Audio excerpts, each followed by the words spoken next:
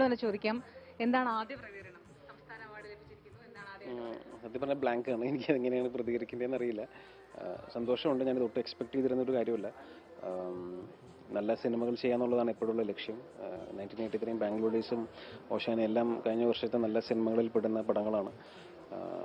അത് ചെയ്യാൻ കഴിഞ്ഞതിൽ ഒരുപാട് സന്തോഷം. അതിനാണ് ഈ റെക്കഗ്നിഷൻ അതിനും സന്തോഷം. ലാസ്റ്റ് ലാപ്പിലൊക്കെ വളരെ മമ്മൂട്ടി അടക്കമുള്ള താരങ്ങളോടുള്ള മത്സരത്തിലൂടെയാണ് ചെയ്തത്. ഇത്രയൊരു കരിയറിന്റെ തുടക്കത്തിൽ തന്നെ ഒരു അവാർഡ് പ്രതീക്ഷിച്ചിരുന്നോ? ഇല്ല ഞാൻ ഒട്ടും പ്രതീക്ഷിച്ചിരുന്നില്ല. അതാണ് ഞാൻ നേരത്തെ പറഞ്ഞ ഞാൻ പ്രതീക്ഷിക്കാതെ കിട്ടിയതാണ്. മികച്ച അഭിനേതാക്കൾ ഒരുപാട് പേരുണ്ട്. ഞാൻ എന്താണ് പറയുക അവരുടെ നമുക്കിടെ അടുത്തൊന്നും നമുക്കൊന്നും ഒരു രീതിയിലും കമ്പയർ ചെയ്യാൻ പോലും പറ്റുന്ന ഒരാളൊന്നുമില്ല. പക്ഷേ ഈ അവാർഡ് ലഭിച്ചതിൽ സന്തോഷമാണ്. Nineteen eighty three Bangalore Days എന്താണ് ഇപ്പോൾ ചിത്രങ്ങളെ പറ്റി പറയാനുള്ളത്? ഓർക്കുമ്പോൾ പറയാനുള്ളത്?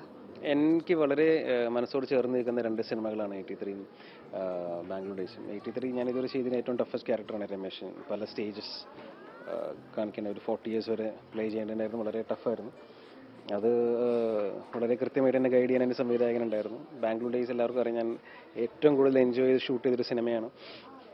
ദുൽഖറും ഫഹദും നസറയും ഇഷ പാർവതി എല്ലാവരും ഉണ്ടായിരുന്നു.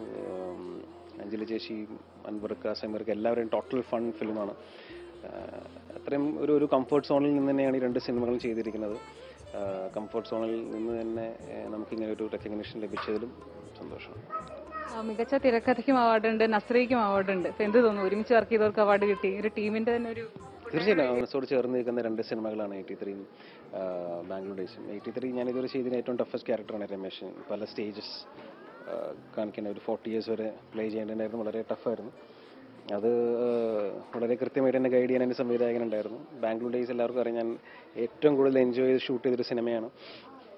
ദുൽഖറും ഫഹദും നസറയും ഇഷ പാർവതി എല്ലാവരും ഉണ്ടായിരുന്നു.